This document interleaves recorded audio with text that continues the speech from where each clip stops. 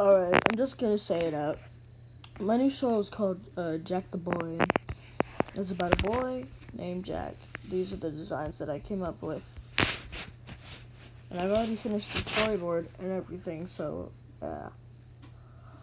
But, that's basically it. Uh, I hope you guys weren't, like, waiting for, like, a big surprise or anything, because that's literally all this was, was just, like, telling you what the new show was gonna be. But yeah, it's about a boy named Jack, and he has like two other friends, and they move and stuff, and you know, and stuff's gonna happen. So yeah, bye.